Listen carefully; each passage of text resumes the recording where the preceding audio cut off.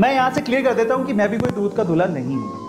I am very clear about it अगर मैं तुमसे कहूँ कि नहीं, ये बहुत गंदी बात है, ये गलत बात है, नहीं करना चाहिए तो ऐसा नहीं है। इसमें कोई बुरी बात नहीं है। It's nothing wrong in it boyfriend और गर्लफ्रेंड ये जो डिस्ट्रैक्शन होता है, जब आप बड़े हो रहे हो, ऐसे हार्मोन्स ऊपर वाला जनरेट करके दे रहा है तो तुम और मैं क्या कर लेंगे? समझ में आ रहा है? ये हार्मोन जनरेट करके, ये फीलिंग जनरेट करके कौन दे रहा है? ऊपर वाला।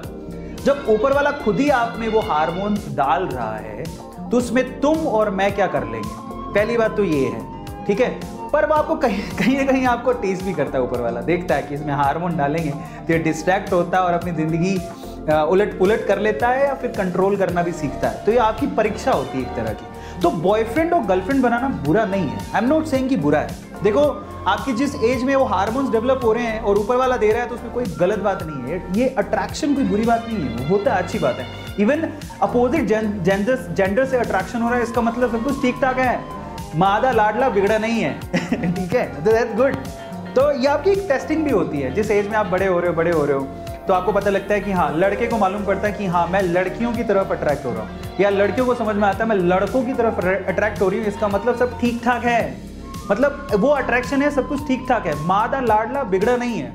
लड़कों का लड़कों से अट्रैक्शन नहीं है, लड़कियों का लड़कियों से अट्रैक्शन नहीं है। अननेचुरल अट्रैक्शन नहीं that's good that's a sign of good thing it's not a bad thing ठीक है?